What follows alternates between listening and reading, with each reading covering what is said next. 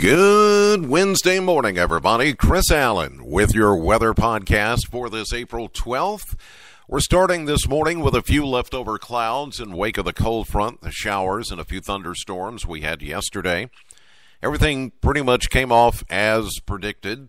Uh, some locations picking up a quarter to a half inch of rain. There was at least a couple of places that picked up over an inch of rain and it was needed. We were starting to get uh, a little concerned about getting behind or getting off pace as far as where we need to be for this point in the year.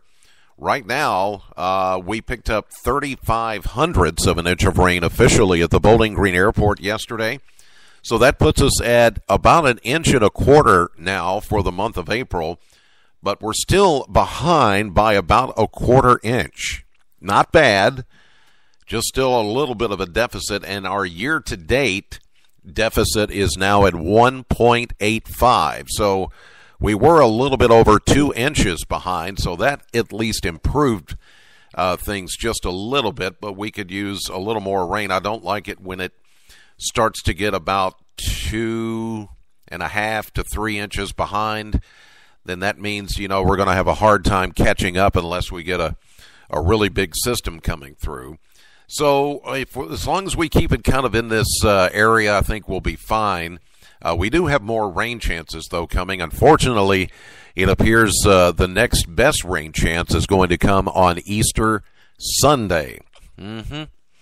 And that's why I cautioned you yesterday, if you listened to the podcast, to maybe, uh, if you haven't, uh, maybe an outing for Easter weekend, a cookout, or doing something outdoors, Easter egg hunt you may want to schedule it for Saturday. It's going to be the best day out of the weekend.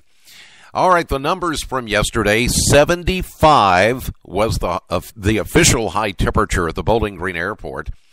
That happened around 1230 yesterday afternoon. 6 degrees warmer than the average of 69.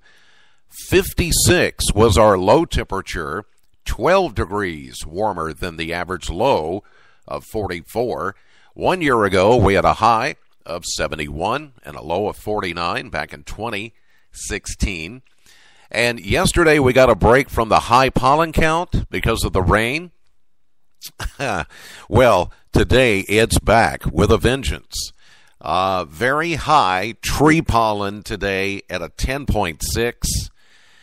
Uh, yeah, that's the unfortunate part. Even though we're going to get the sunny weather back, it's going to be nice and warm. The pollen count off the charts.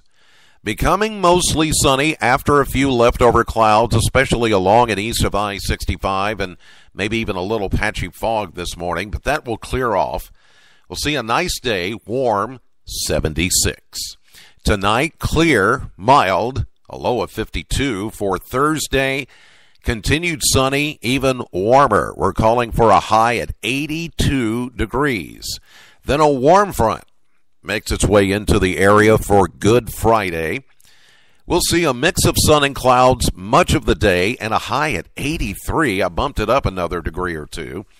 There is, uh, though, a 20% chance of an isolated shower or thunderstorm, mainly during the afternoon hours on Friday with the arrival of that warm front.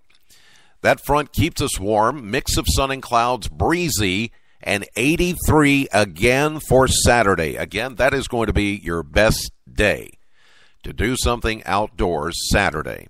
Because Sunday, here comes the rain, scattered showers and thunderstorms becoming more likely now with a 60% chance.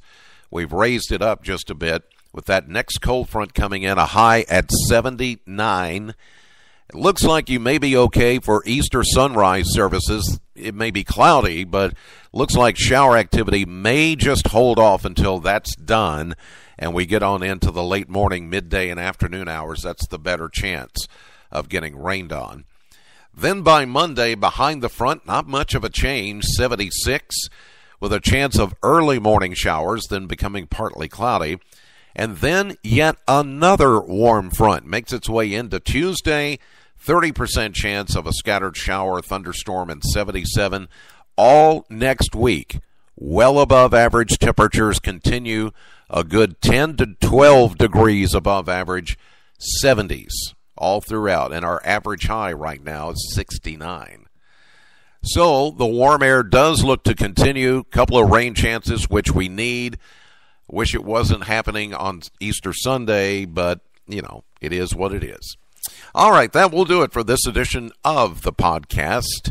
God bless as always, and thank you so much for listening. Know the weather before it knows you. Have a great day. I'll see you live at 5:30 on AM Kentucky, 11 a.m. on midday, streaming live to the WBKO app and WBKO.com.